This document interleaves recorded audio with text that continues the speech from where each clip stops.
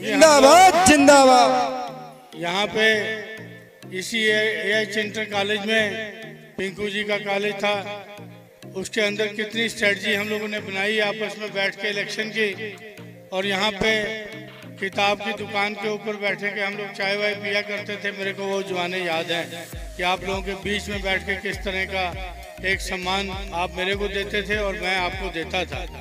वो परस्पर 40 साल का संबंध जो मेरा आपसे है, वो एक सेवा का भाव था मेरा, जो आपके प्रति रहा हमेशा और आगे भी रहेगा।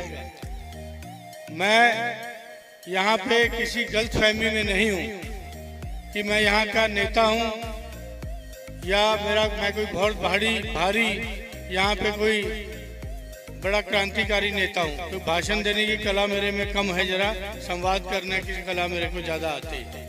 संवाद ही किया आप लोगों के साथ और मैं ये क्योंकि मेरे को कभी भी गलती फहमी नहीं अपने बारे में, यहाँ जो कुछ है, वो गांधी परिवार का है, उनकी कृपा है और आपकी साथ है तो हमारी ताकत बनती है, इसके अलावा कोई भी बात नहीं है।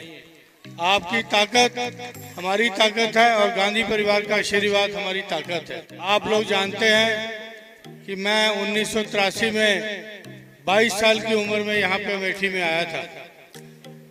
राजीव जी के संरक्षण में मैंने यहाँ पे काम किया। बहुत सी चीज़ें उनसे सीखी मैंने ज़िंदगी के अंदर कि किस तरह मतदाता का सम्मान होता है, किस तरह से यहाँ की जनता के लिए काम होते हैं, ये मैंने उनसे सीखा। उसके बाद मैंने सोनिया जी से बहुत सी चीज़ें सीखी। राहुल जी, नई सदी के नेता थे, उनसे भी काम करने का तरीका मैंने सीखा।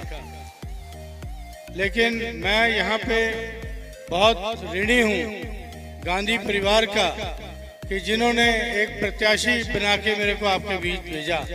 मैं उनका सदैव आभारी रहूँगा, क्योंकि एक छोटे से कार्यकर्ता को इतना बड़ा सम्मान जो दिया है, इसका पूरे देश में एक संदेश किया है।